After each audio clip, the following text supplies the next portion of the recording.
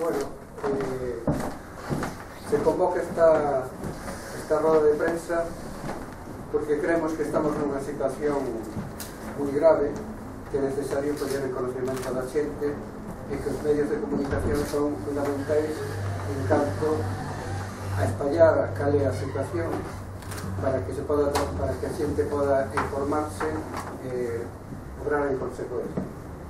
Vivimos nunha política en que parece que os políticos van para un lado e que a economía vai para outro e, sin embargo, non cabe duda de que todo vai enlazado. O sea, que, eh, falamos dunha economía social, do ben común, falamos de, de progreso e de cubrir as necesidades da xente de unha maneira xusta, pero en realidade quen manda, quen decide e quen pon as condicións son os grandes financieros que simplemente non é que teñan moito dinheiro, sino que manexan o dinheiro de todos.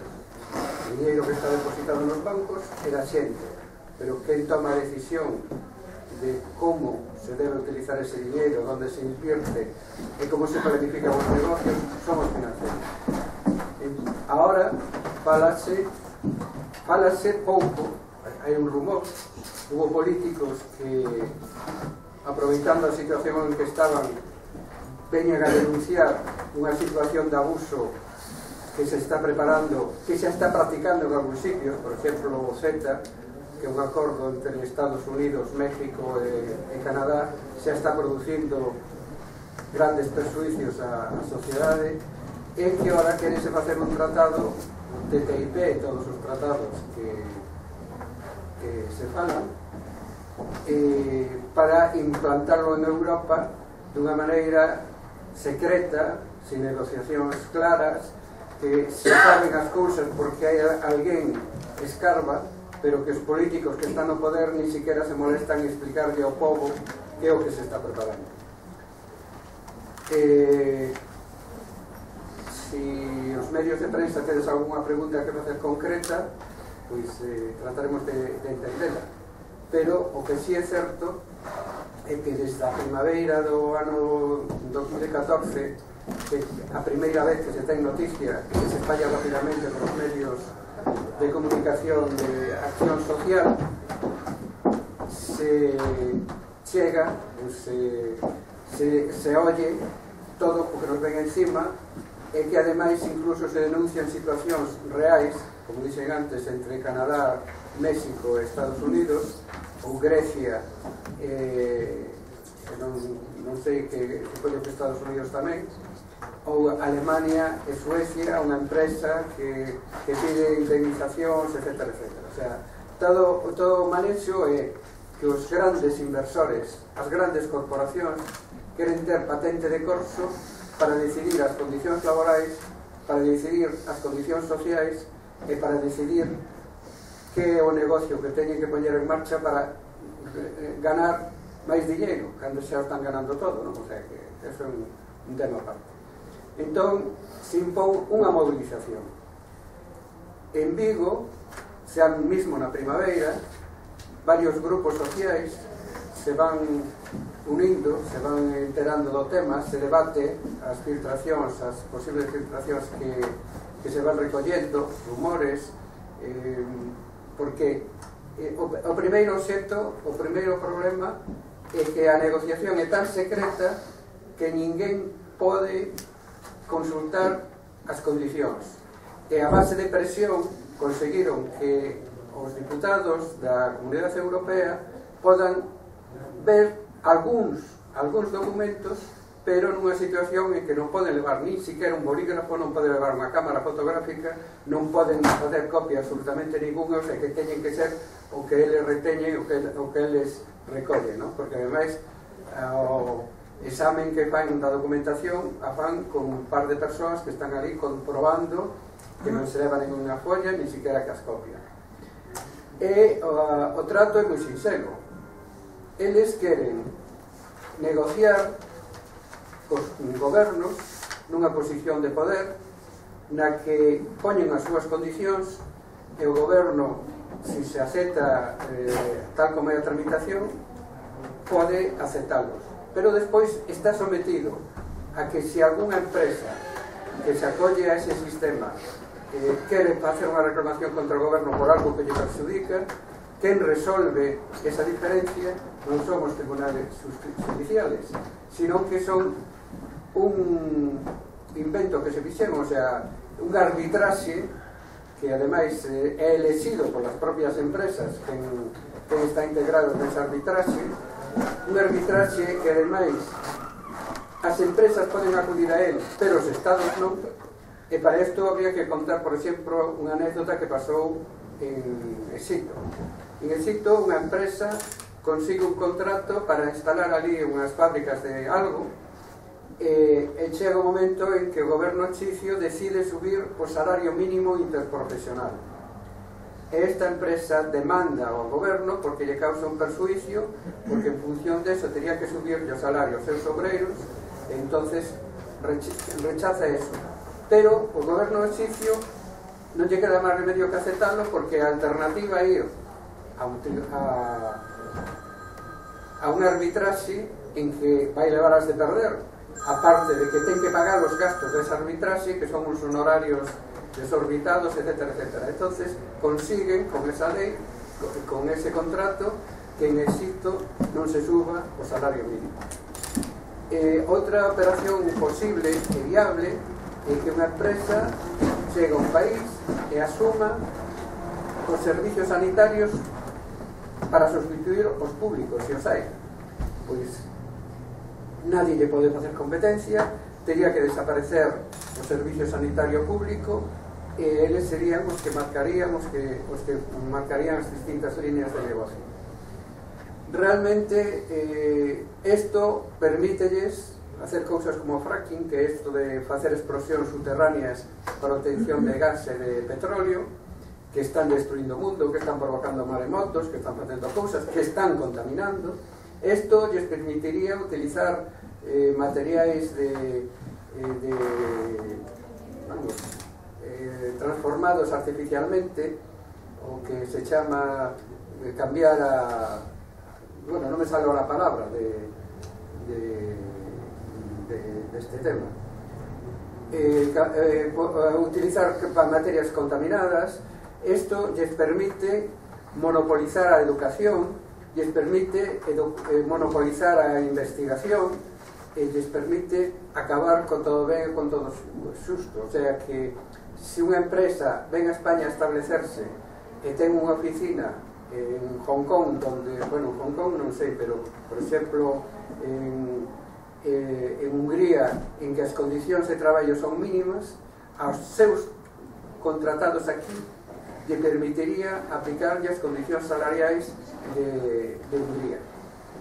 E acaban, monopolizan todo, controlan a inversión do diñeiro, os estados, os estados, os gobernos, que teóricamente son os que teñen que controlar os cartos, han perdido ese control, entonces todo está en man das grandes empresas, das grandes corporacións, que eu non sei se vos sodes aficionados ao cine, digamos, de ciencia ficción, na que vemos unhas sociedades donde non hai goberno, non hai políticos, todo é unha corporación que é a que manda, é unha corporación a que decide como traballa a xente, unha corporación a que pon as condicións de vida, de educación, de que podes ler, que non podes ler, calquer película de ciencia ficción destas disparatadas de mm, Fahrenheit 456, El Dormilón, non sei que, pois parece los cineastas ya están anunciando un mundo que está aí, a volta da esquina, e que se non nos unimos, se non tomamos conciencia delo, eh, se non, non lo van a imponer. Que é a desaparición da representación da sociedade como forma de goberno, como forma de administración. Que pasa? Que temos uns políticos que non se enteran desto? Pois, o mellor é que de momento non se enteran, pero tamén é certo que o mellor están comprados ou están seducidos por, por todo isto que xa sabemos de sobra que é a corrupción, de como cada unha arrima as copas a súa sardinha, etc. etc. Que pasa? Que a población non se entera desto, non se entera porque os medios de comunicación, e este é un chamamento que os medios de comunicación, non falan nunca destes problemas. Teñen que empezar a falar, teñen que empezar a dicirle a xento que pasa. Xa sei que eso non depende dos periodistas, sino que depende das empresas. Pero é unha responsabilidade que temos todos de chegar, de levar a información a todos.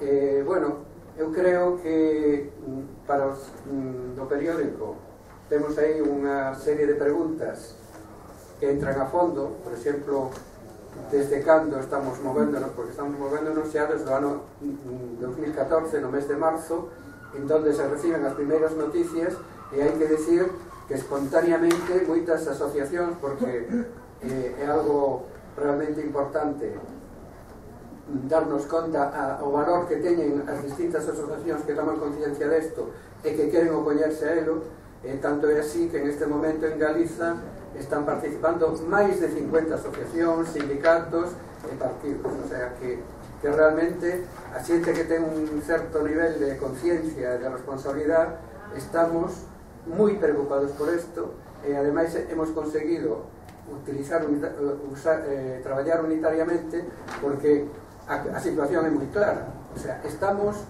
de alguna maneira eh, a expensas de que a xente de repente se levante pola mañán e se encontre con un mundo totalmente cambiado.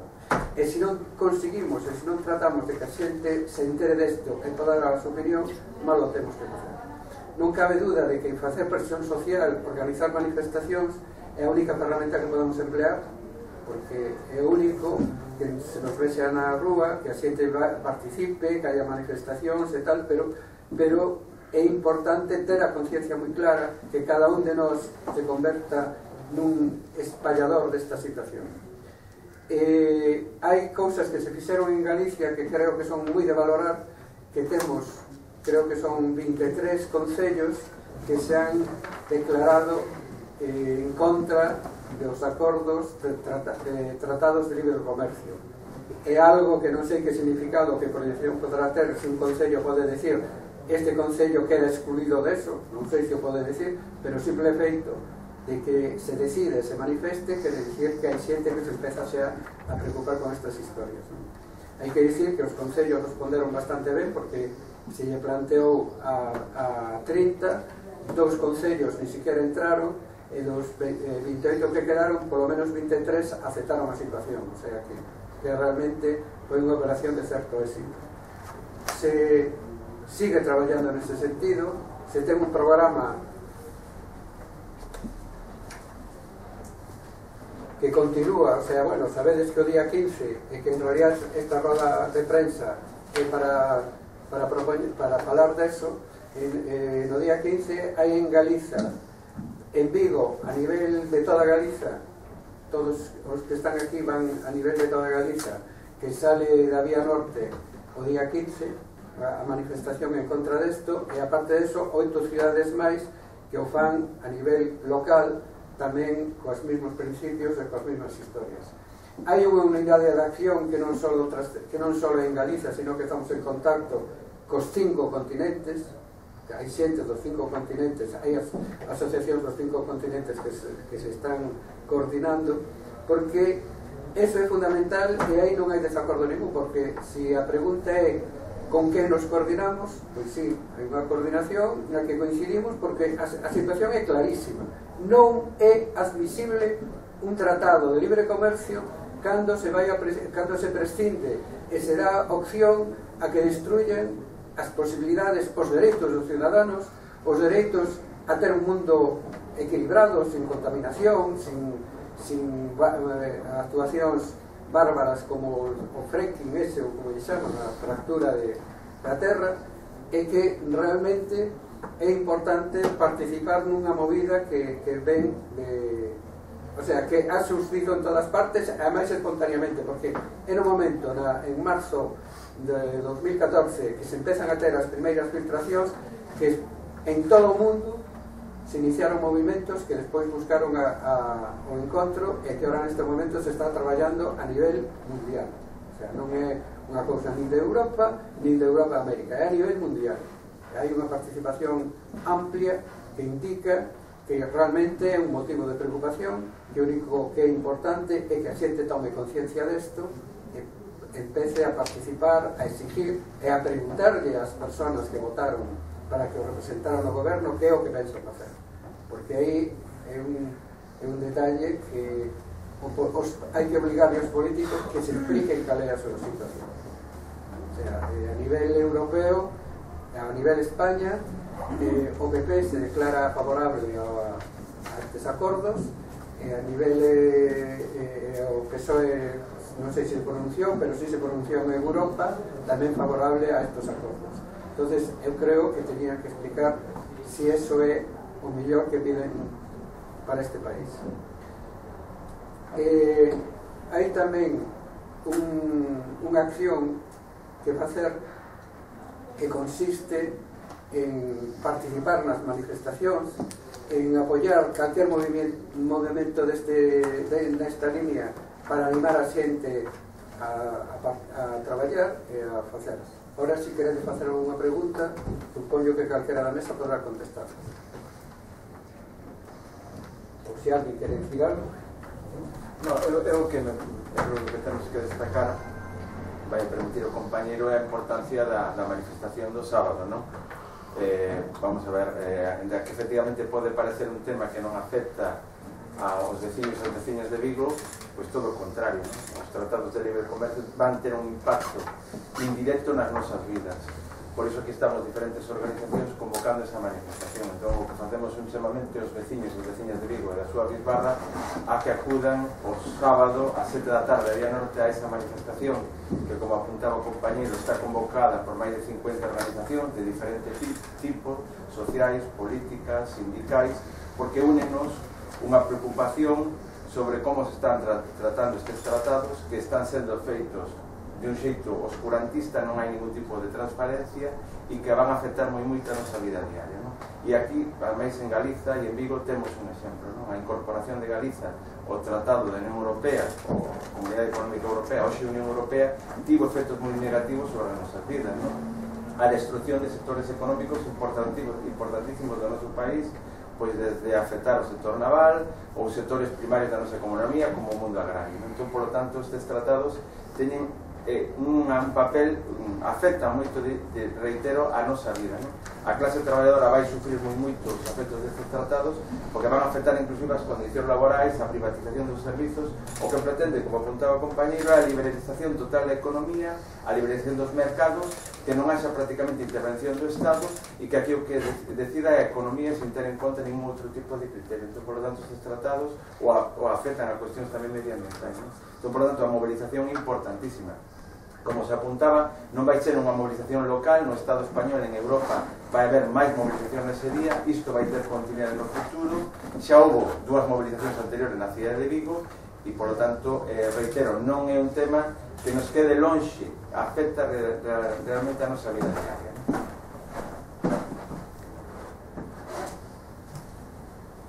Bueno, eu falo quero falar en nome das, da, falo en nome das marchas da unidade que tomamos parte desta convocatoria nacional que se fai en Vigo, somos convocantes en Vigo e convocantes tamén en, en sete cidades máis de Galicia a, a sete da tarde, non? Convocamos en, en toda Galicia e ademais en todo o Estado español máis de 50 manifestacións ese día se van, se van a producir onde están a, as marchas da unidade non? eh, quero decir, o exemplo que puxo Miguel do cine é moi ilustrativo, non había pensado por esa vía pero é moi ilustrativo o tema da gran corporación non? o que ven o que ven o que ven a pasar con, con estes tratados de libre comercio é que os poderes fácticos, as multinacionais, os grandes poderes queren asumir o poder absoluto, queren volvernos a levar o absolutismo, é dicir, eh, eh, queren acabar co Estado de Dereito, podemos estar nun punto de non retorno.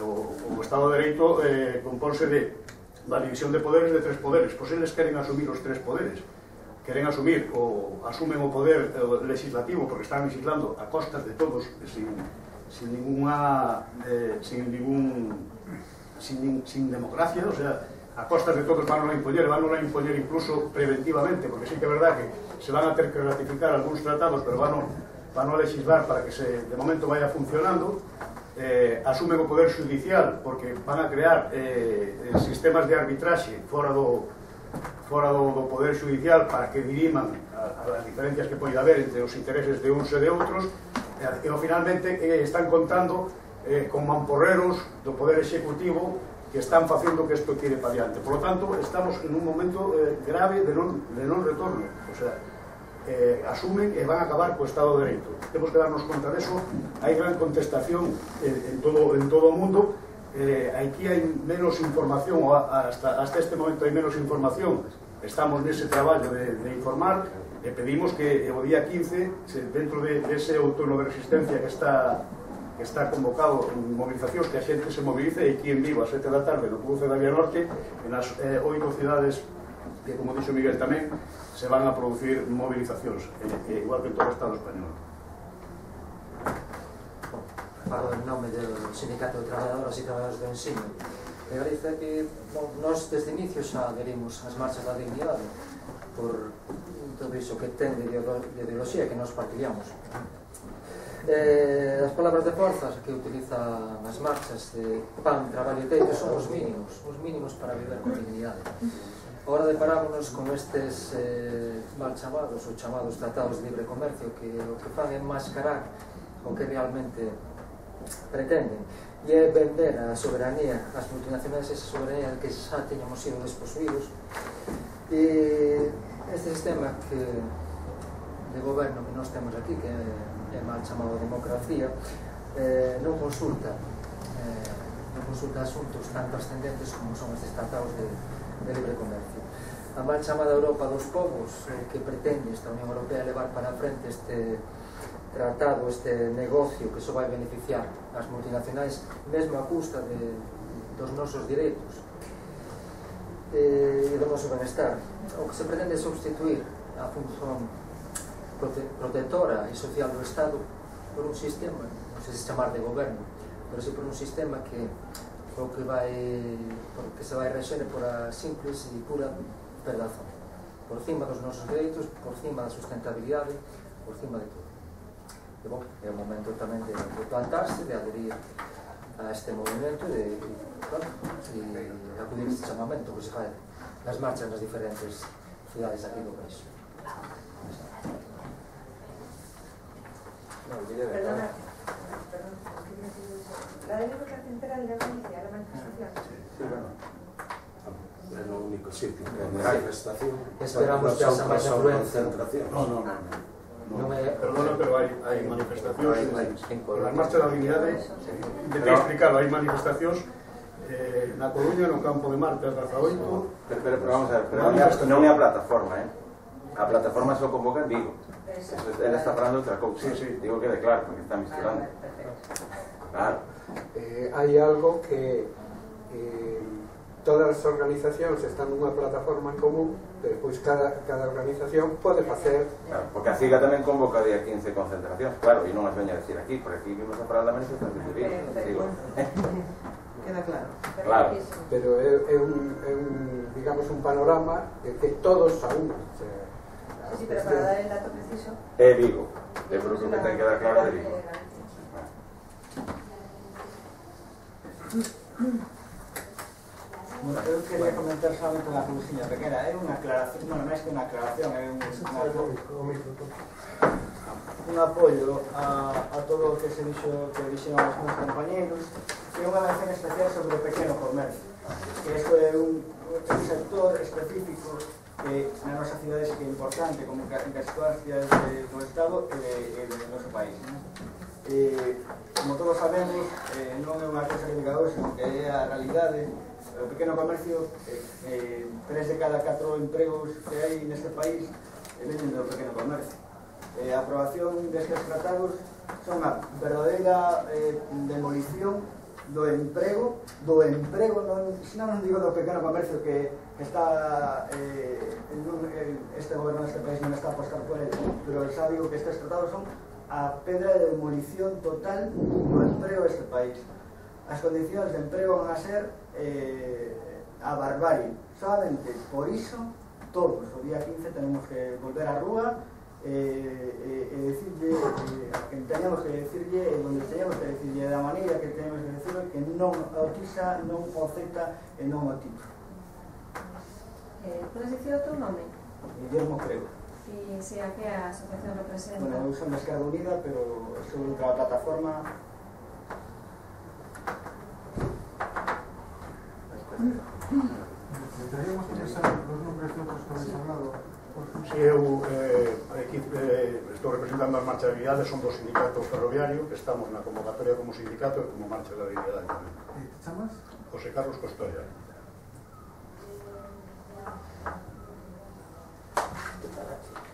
Sí, eh, son Francisco Nieto do sindicato STEC, STEG. Eu son Miguel Quinteiro de COAN. ¿Perdón, qué? Escobar. De la Siga. Yo soy Néstor de ECO. Néstor Vázquez. Bueno, si no Acabamos.